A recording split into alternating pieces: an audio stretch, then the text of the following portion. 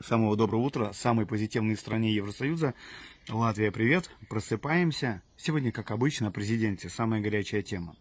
Значит, смотрите, нам подсовывают Ренкевича, и весь фокус внимания сейчас будет уведен на то, что он гей, и что, ну, вот представьте себе, что у нас президент будет гей, и у нас будет не вторая леди там, а вторая педия. Ну, или как-то там по-другому это, наверное, называется. Надеюсь, никого не обидел.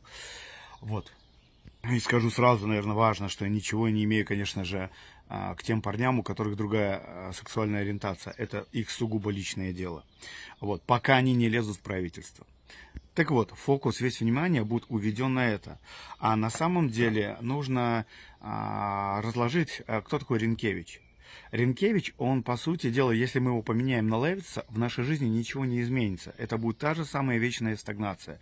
То есть нетрудно предсказать, что он опять поедет на Украину, будет обещать восстанавливать Украину, будет там захваты Луны, прогнозировать Марса, все что угодно, только не работать с Латвией. То есть получается, что оплачивать и много-много миллионов евро на его содержание будем тратить мы, и в этот момент, и когда он будет на пенсию, но работать он будет не на Латвию, а на внешнюю политику. Мы помним, что всю жизнь, чем он занимался, это только гавкал в сторону России. Сейчас, конечно же, это как никогда актуально, кричать там про гаагские суды и прочую херню, но у меня только один вопрос. Почему за это должен платить я?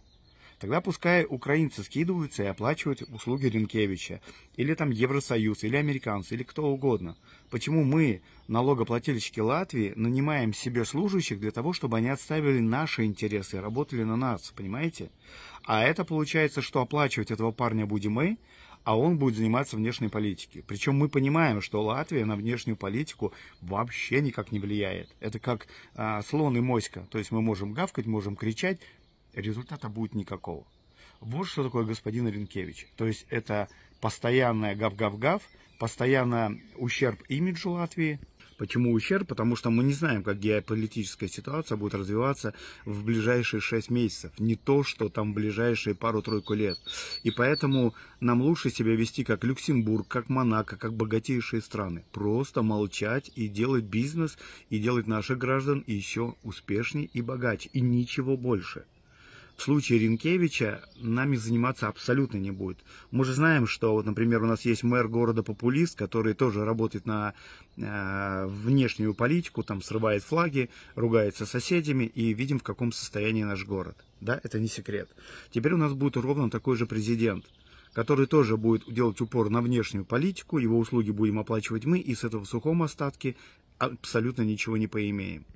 Я не знаю, кто такой Пиланс, если честно. Ну, я знаю, кто он такой, так же, как и ты. Но какой он в деле, фиг его знает.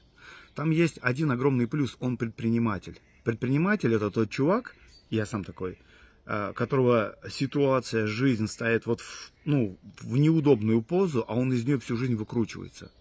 И вот нашей стране нужен только предприниматель.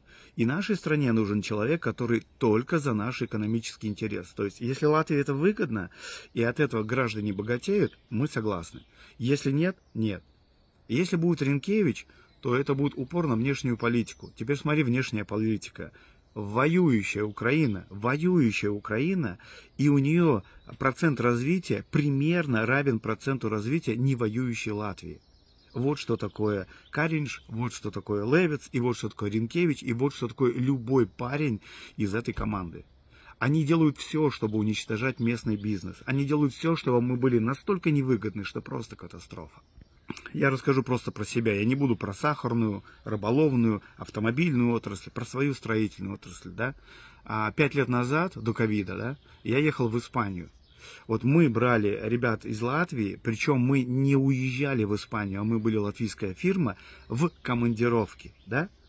И вот сегодняшняя ситуация. Так вот смотри, а при том, что мы зарабатывать стали мало, при том, что мы на уровне банкротства, да? Но если ты сейчас поедешь в Испанию, то латышский парень будет в два раза переоценен, чем испанский парень. Вот как можно было проводить такую экономическую и налоговую политику, чтобы ты при супердорогой цене был на грани банкротства? Ну, так у нас примерно сейчас во всем Латвии. И поэтому нам нужно выгонять популистов не с ТикТока и Фейсбука, а из правительства.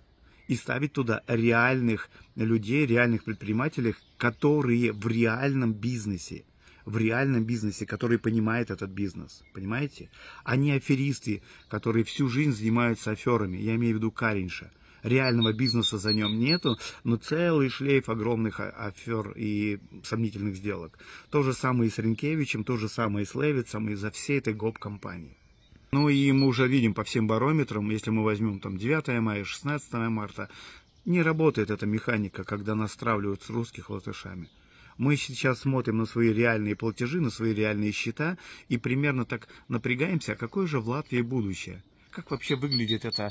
А, мы знаем, как выглядит американская да, мечта. Наверное, кто-то догадывается, как русский мир выглядит. Да? А как выглядит латышский мир? Как выглядит латышская мечта? Вот чем надо нам с вами заниматься. Осталось только напомнить, что в любом случае Латвия самая позитивная страна Евросоюза. Просыпаемся, Латвия!